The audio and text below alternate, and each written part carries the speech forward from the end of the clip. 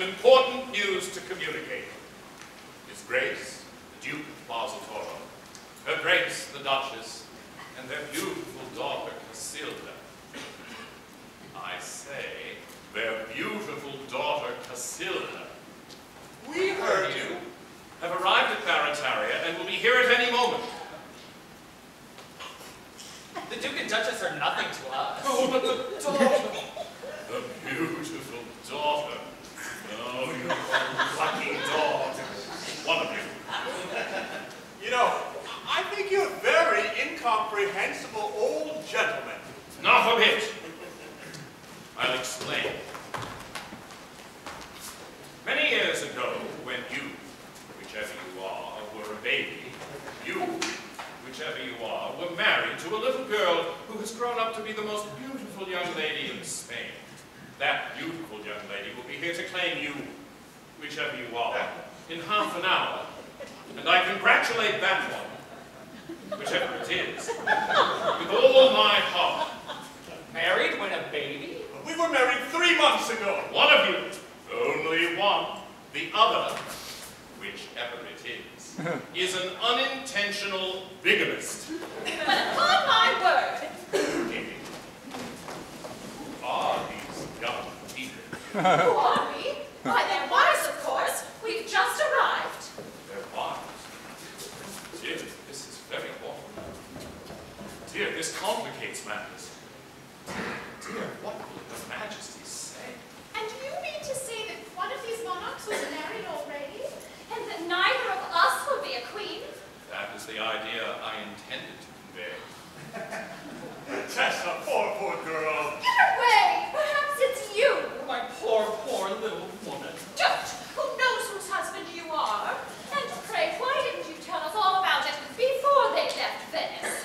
Because if I had, no earthly temptation could have induced these gentlemen to leave two such extremely fascinating and utterly irresistible little babies. Well, there's something in that.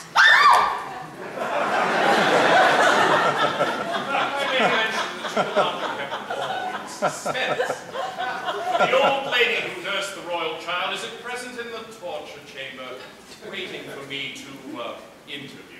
Poor old girl. Hadn't you better go put her out of her suspense? Oh no, there's no hurry. She's all right. She has the annotated works of Gilbert and Sullivan. However, I'll go and interrogate her. And in the meantime, may I suggest the absolute propriety of your conducting yourselves as single young ladies. Good evening. Well, here's a pleasant state of things. Delightful. One of us is married to two young ladies, and nobody knows which, and the other is married to one young lady whom nobody can identify. And one of us is married to one of you, and the other is married to nobody. but which of us is married to which of you, and what's to become of the other? It's quite simple. Observe. Two husbands have managed to acquire three wives. Three wives, and two husbands.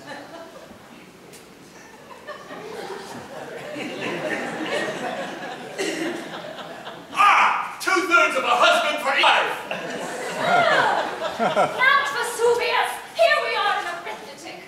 My good sir, one can't marry a vulgar fraction. You've no right to call me a vulgar fraction. We are getting rather mixed. This situation is entangled. Let's try and comb it out.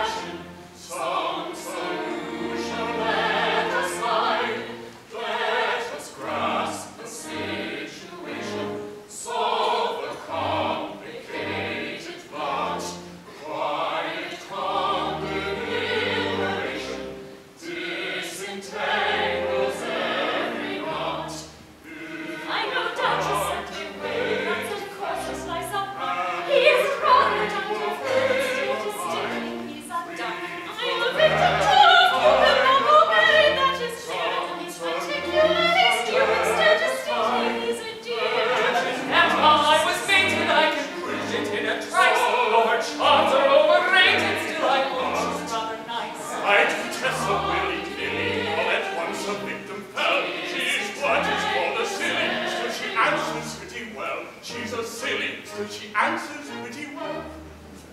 Now when we were pretty babies,